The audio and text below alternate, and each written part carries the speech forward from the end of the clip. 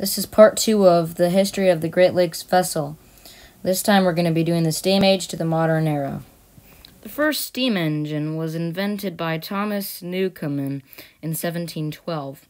However, steamships wouldn't make their way on the Great Lakes until the 1800s.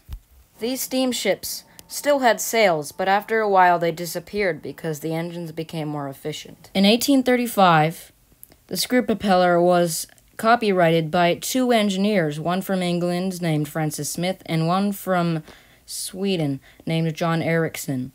The screw propeller proved to be popular because of the many advantages it had over side wheels. In the 1840s and 50s, coal mining became more popular, and it began replacing wood as fuel for the steam engine. In the 1860s, more and more railroads were being built around the country so the number of passengers for the passenger lines dwindled. So ship owners decided to convert their vessels into cargo ships.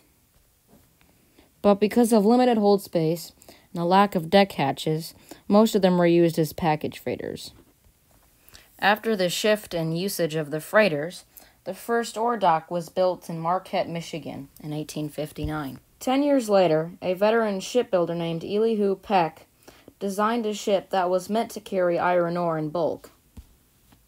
The ship was named R.J. Hackett and had two structures, one in the bow and one in the stern, and left the deck open so it could be loaded with cargo. But what happened to all the sailing vessels? Well, ship owners decided to use them as barges. They were pulled by small steam powered tugboats. In the 1830s, exploitation of America's Midwestern woodlands became available. Because of this, lumber hookers were built and carried wood around the Great Lakes. In the 1870s, the lumber industry exploded as many Americans were moving west and needed wood to build their homes. But later in the 1920s, the seemingly endless supply of the pine that was in Michigan and Wisconsin was all gone, and the industry shifted to the Pacific Northwest. So, many of the lumber hookers were just ba- abandoned or burned because their small sizes made them useless for anything else. In the 1880s, the whaleback freighter was invented by Captain Alexander McDougall.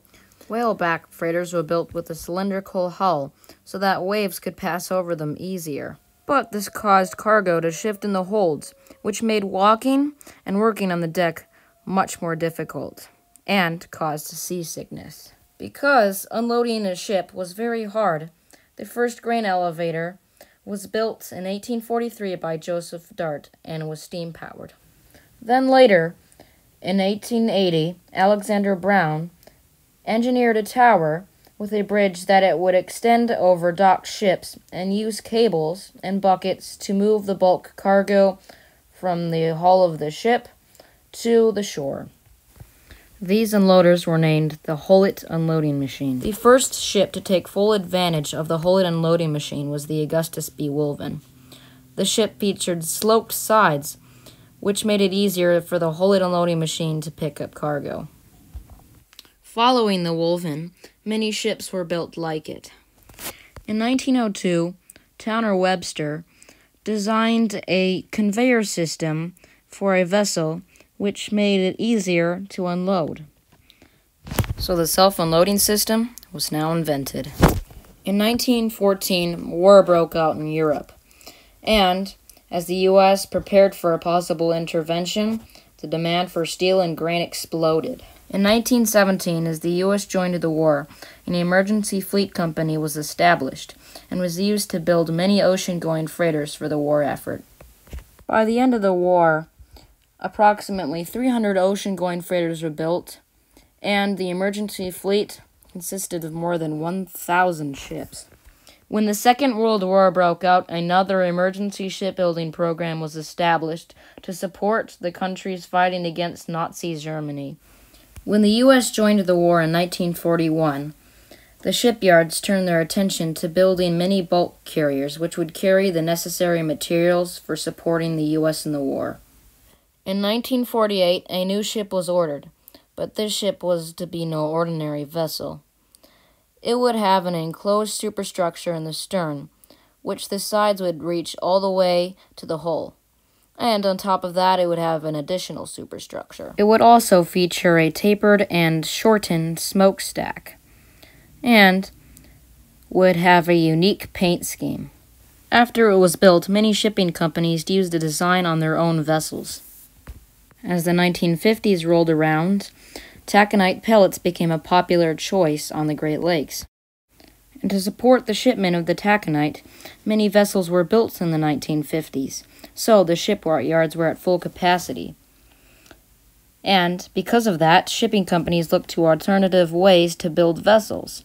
So they decided to convert ocean going vessels into Great Lakes bulk carriers. In the 1960s, shipping companies started to take example from ocean going freighters and would build their ships with one superstructure located in the aft. By the 1980s, all ships built in the Great Lakes had their superstructure in the back. In 1972, the first 1,000 foot freighter was built in the Great Lakes and named the Stewart J. Cort. The vessel would be very maneuverable, featuring eight bow thrusters. After the Stewart J. Cort, 12 other 1,000 footers were built in the Great Lakes, the last of them being the Paul R. Tregurtha. In the 1970s, river class vessels were built because of the dwindling amount of small vessels that could carry iron ore to the steel mills up the Cuyahoga River. By the time the 2000s rolled around, no ships had been built in the Great Lakes. And in the 2010s, shipping companies looked to other countries to build their ships for them the most popular choice being China. Thus, the vessels of the Equinox class and the Trillium class were built. In 2021, we saw the arrival of the Captain Henry Jackman, the Equinox 3.0. And, to be completed in 2022, the Mark W. Barker is being built for the Interlake Steamship Company. It also just received its bow section. Anyways, thanks for watching and subscribe. Bye.